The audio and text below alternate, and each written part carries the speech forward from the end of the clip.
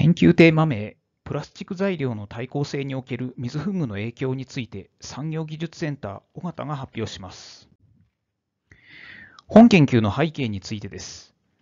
軽量で加工がしやすいことからプラスチック製品の需要が伸びていますが、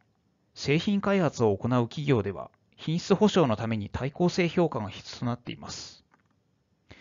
その評価を行う際、時間を短縮できる耐候性試験機が注目されています。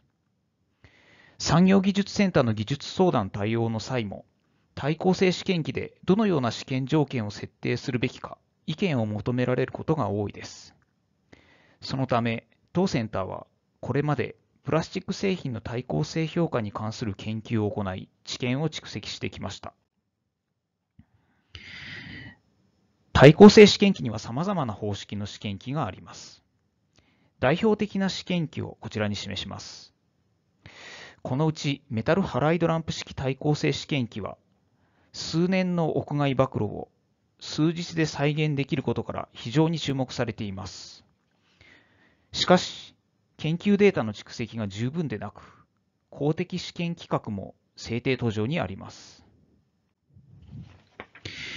本研究の課題と目的はこちらのようになります。これまで対抗性評価に関する研究を行い、知見を蓄積してきましたが、紫外線の照度に注目した研究であったため、それ以外の劣化に影響を及ぼす因子については検討してきませんでした。しかし、プラスチックの劣化には紫外線の照度以外にも水分が影響を及ぼすと考えられます。メタルハライドランプ式対抗性試験機はメーカー各社が独自に開発を進めており、使用がまちまちで試験条件が確立していません。そこで本研究ではメタルハライドランプ式対抗性試験機に着目し、屋外暴露を再現するための条件を見出すことを目的としました。成果の概要はこちらの通りです。色差の測定結果から屋外暴露に相当する照射時間を推定することができました。強度の測定結果からは、